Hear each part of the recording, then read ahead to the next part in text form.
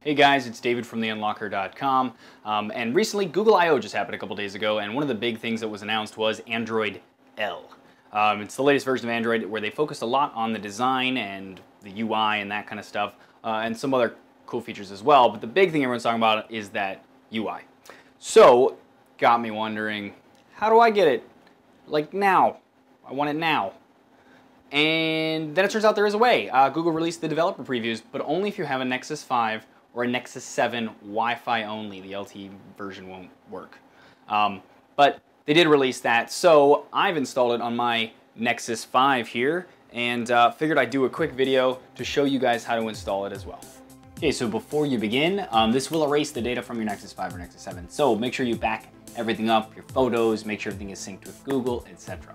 Um, something else to know, these are previews. They're not fully functional, so expect some bugs. Now on the device, we're gonna go to settings, scroll all the way down to about phone, find build number and keep tapping it until it tells you that you are a developer. Mine says I already am a developer, but yours will say you are now a developer. Hit back, developer options, and then we're gonna turn USB debugging on. And then we're gonna click on this link to download the SDK manager. Save that to your desktop. Once that's done, you're gonna double click it and follow whatever it tells you to install. So in this case, I need to go to Java and download the JDK, accept the license. I'm on Windows 64.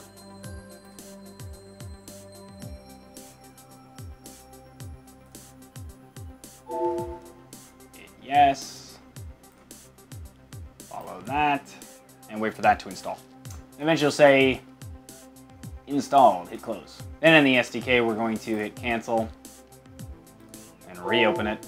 And it should work from there. If it won't recognize that you installed the uh, Java kit, just restart your computer. If after a reboot it still won't recognize in the installer that you have Java installed, here's a way to fix it. You're going to go to settings, control panel, and search control panel for environment variables. And we're going to click on edit them. And environment variables. And then you're to create a new one. And in there you're going to put Java home spelled just like that all caps underscore. And then put the path to the JRE which should be this. You could try this and see if it works. Um, if it doesn't you need to just find it. So for me it was C program files Java and then that so the path to that then click OK, click OK, click OK, and now run the installer again. And next, it should now find the kit. We're gonna hit next, hit next. And here you're gonna make a better location than this. Let's do just Android SDK like, oop, like that. And hit next, install, and wait for that. Once that's installed, you're gonna hit next and then start the SDK manager and hit finish. And when that opens up, wait for it to do its thing. Uh, under tools, you're gonna select Android SDK tools, platform tools, and build tools. And then make sure that all the things under Android L at least are checked off. And then we're gonna hit install packages Hit accept license, hit install, and wait for that. Once it's done loading the packages, you can close it out.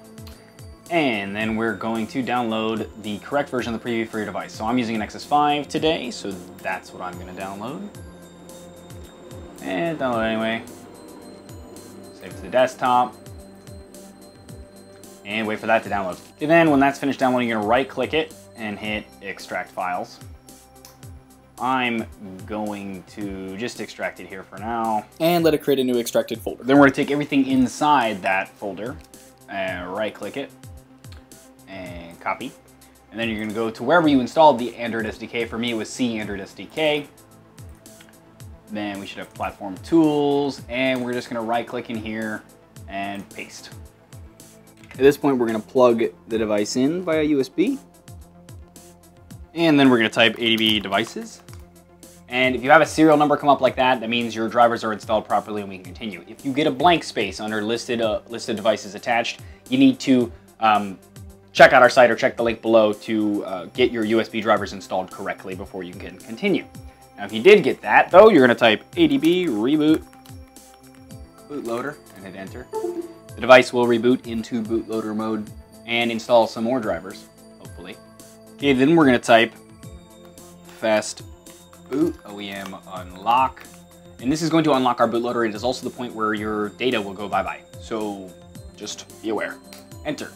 At that point on the device, it's going to ask you to say yes or no. You're going to use the volume buttons to go up to yes, power to select, and now it should say unlocked at the bottom. Okay, then when it's done, you're gonna do flash hyphen all dot bat, hit enter, and wait for it to flash. And then after it reboots, you're now running Android L.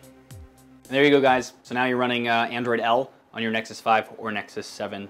Um, if you are on another device, for example, uh, you can always wait for a custom ROM to come out that'll be based on Android L. I'm sure that will happen not too long from now. Um, so always check out the website, theunlockr.com. You can go to how-tos, find your device, root it, then you can actually uh, find the other video for how to load a custom ROM and flash Android L on your device if you don't have an Nexus 5 or an Nexus 7.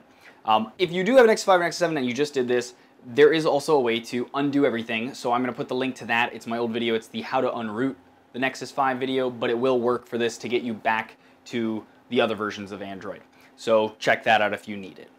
Other than that, to keep up to date on everything that's happening on the website, go to Twitter, Facebook, Google+, um, and it's going to be at The unlocker with the E missing in the word unlocker, or subscribe here to the YouTube channel. Um, and I'm kind of interested to see what you guys think of the new software if you've played with it for a little bit. Uh, reach out to me in the comments here or uh, on the site as well. And as always, guys, thanks for watching.